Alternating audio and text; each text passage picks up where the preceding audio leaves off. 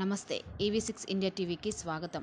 పాపయ్యపేట గ్రామంలో రజక సంఘం ముఖ్య నాయకుల సమావేశంలో మాట్లాడుతున్న రాష్ట్ర అధ్యక్షులు చాపర్తి కుమారస్వామి ఉమ్మడి జిల్లా అధ్యక్షులు మామిడాల రాంబాబు రూరల్ జిల్లా కన్వీనర్ మామిడాల రమేష్ గ్రామ శాఖ అధ్యక్షులు బర్ల యాకయ్య మరియు కార్యదర్శి చినూరు యాకయ్య రజక్కర్ పాల్గొన్నారు.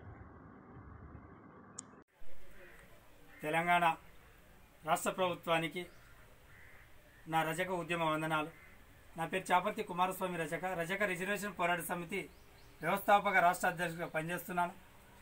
మరి గత మార్చి ఇరవై రెండు నుంచి ఈ రోజు వరకు లాక్డౌన్ సందర్భంగా కేంద్ర రాష్ట్ర ప్రభుత్వ సూచన మేరకు మరి తెలంగాణ రాష్ట్రం కావచ్చు ప్రపంచం కావచ్చు కరోనా వ్యాధి నివారణ కోసం జాగ్రత్త కోసము జాగ్రత్తలు తీసుకుంటూ లాక్డౌన్ పాటించడం జరుగుతున్నది.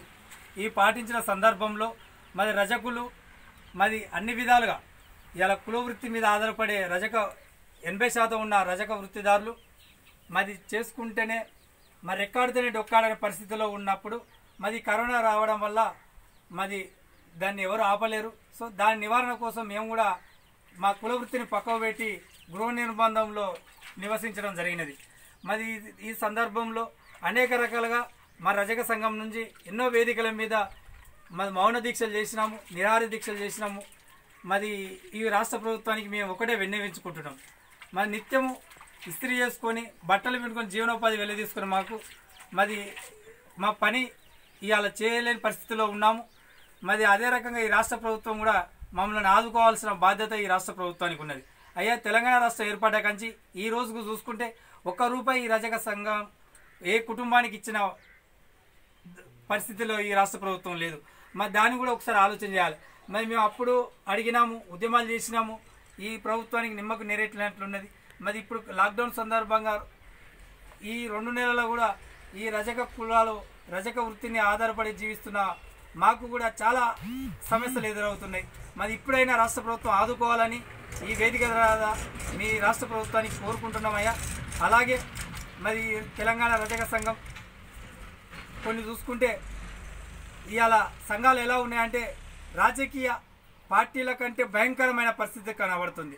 మరి భవిష్యత్ తరాలు మరి ఇలాంటి వాతావరణం కాక ఉంటే మరి ఇది రజక జాతికే పెద్ద ప్రమాదంగా ఏర్పడుతుంది. ఇప్పటికైనా రజక సంఘాలు ఒక ఆలోచన చేయవలసిన బాధ్యత అవసరం కూడా ఈ రజక సంఘాల మీద ఉన్నది. నేను ఒక సంఘానికి అధ్యక్షుని అయినా కూడా మరి నేను ఎందుకు ఈ రకంగా మాట్లాడుతున్నాను ఒకసారి ఆలోచన చేసుకోవాల్సిన సమయం కూడా మీరు ఒకసారి నిర్ణయం చేయాలి. ఎందుకంటే మనం మనమే లొల్లి పెట్టుకుంటే మన జాతి ప్రజలకు అన్యాయం జరుగుతుంది అనేది మన మనకందరికి తెలిసిన విషయమే. మనము మనందరం ఒకతాటి మీదకి వచ్చినప్పుడు మనం ఒకే ఎజెండా మీద పనిచేసినప్పుడు మన జాతికి న్యాయం చేయాల్సిన బాధ్యత కూడా మన మీద ఉంటుంది. మా దానికోసం మరి గతంలో ఎన్నోసార్లు ఎన్నో సంఘాలు పిలుపునిచ్చినా కూడా ఒక్క సంఘాలు కూడా కలిసి రావడం లేదు. ఇప్పటికైనా ఆత్మ పరిశీలన చేసుకోవాలి. ఈ రజక సంఘాలు ముఖ్యంగా రజక సంఘం రాష్ట్ర అధ్యక్షులు ఆలోచన చేయాల్సిన బాధ్యత మీ మీదనే ఉన్నది. ఎందుకంటే నేనేదో చెప్తున్నా నేనే గొప్ప అని కాదు.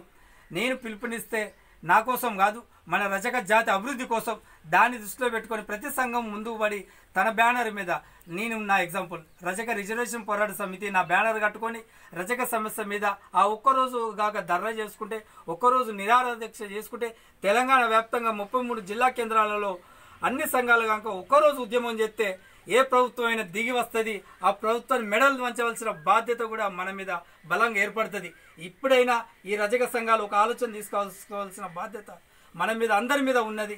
ఇది నేను చెప్తున్నా అంటే నేనేదో గొప్ప కాదు. మనందరం ఒకటే. అందరం కలిసి ఉద్యమాలు చేద్దాం. జాతి అభివృద్ధిని ముందుకు తీసుకుపోతాం.